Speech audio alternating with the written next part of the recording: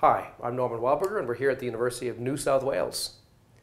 This is problem 14H in our linear algebra course, chapter 4. And we're talking about linear equations here and our aim is to solve this system of linear equations for x1, x2, x3, and x4. So we have three equations in four unknowns. So let's proceed and use row reduction. First thing is to write down an augmented matrix for the system.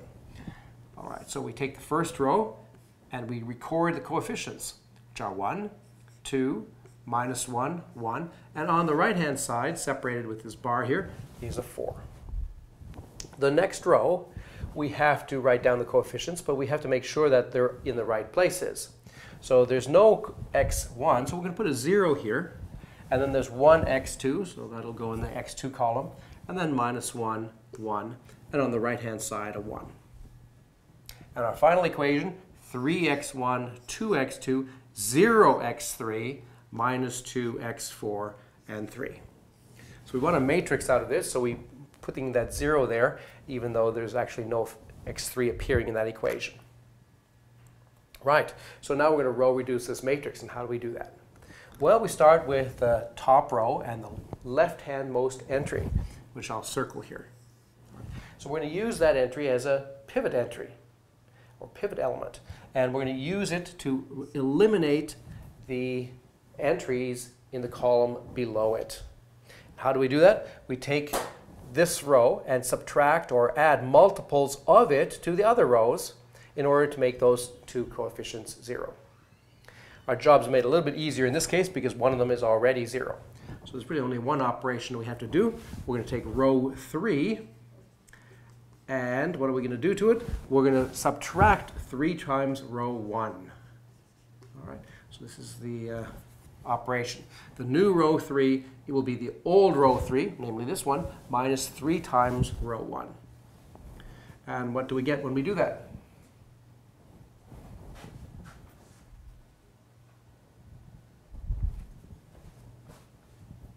Well, the first row is unchanged. 1, 2, minus 1, 1, at 4.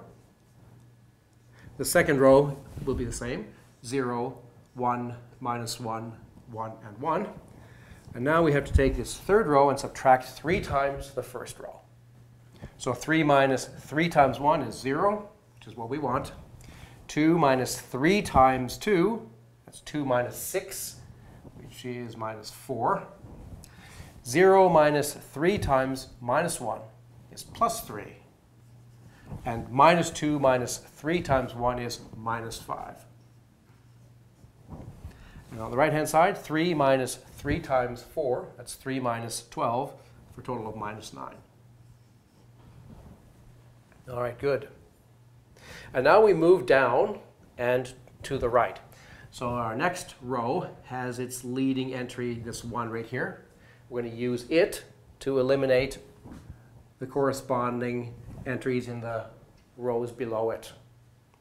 So we're going to use this row here. We're going to add actually 4 times this row to this row, which will make that entry there at 0. All right, so what we're going to do is we're going to say that the new row 3 is the old row 3 plus 4 times the row uh, 2. Row 2. All right, what will that give us? First row stays where it is. And the second row stays where it is. And then we're adding 4 times this row to the third row, giving us 0, 0. 4 times minus 1 plus 3 is minus 1. 4 times 1 plus minus 5 is minus 1. 4 times 1 plus minus 9 is minus 5.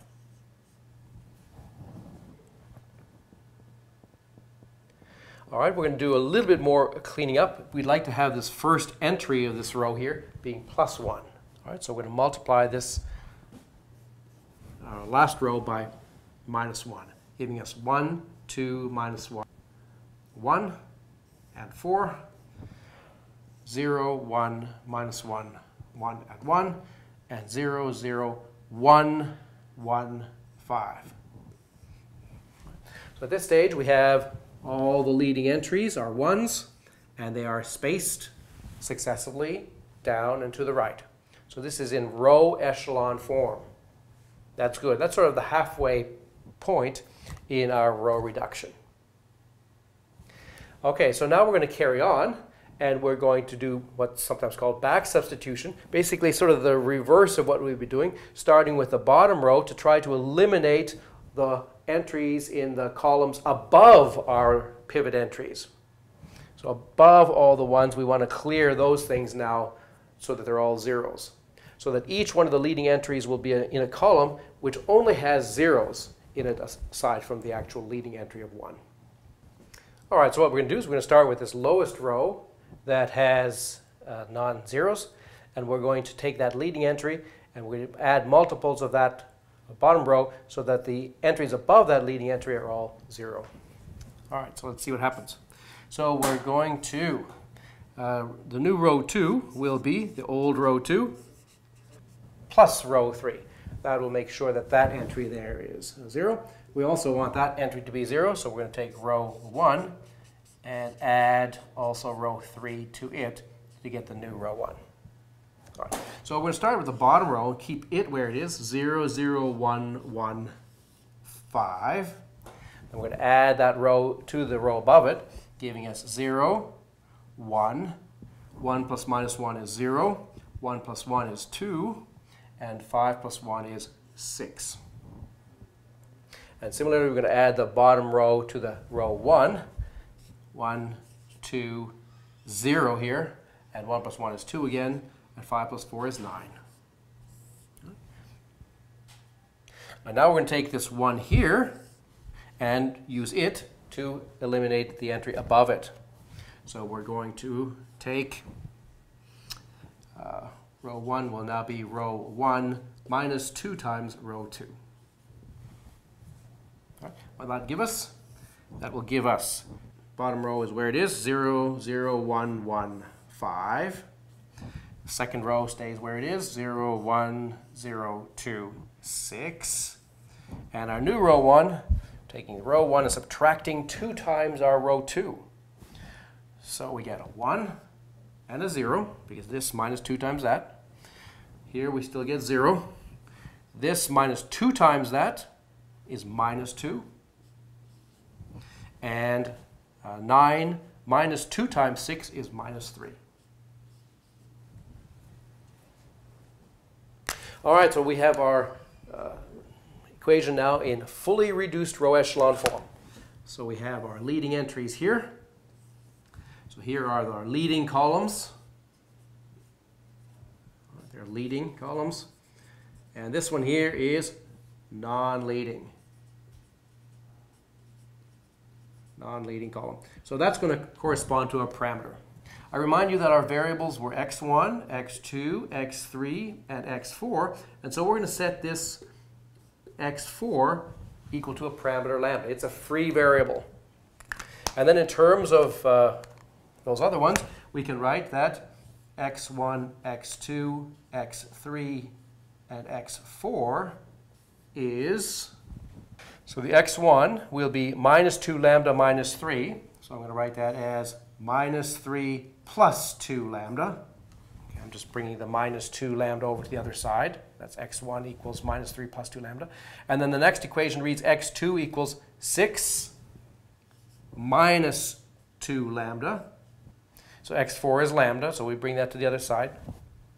And then finally, x3 equals 5 minus lambda.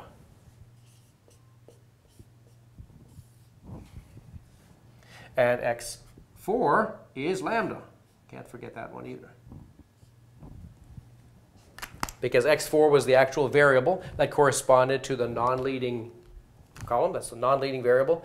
And so in terms of that, we have expressed the other variables, x1, x2, x3, in terms of that parameter lambda. That's what the row reduction allows us to do. So there's our final solution showing us that there's a one parameter family of solutions to this system. This is a line in, in a four-dimensional space, if you like.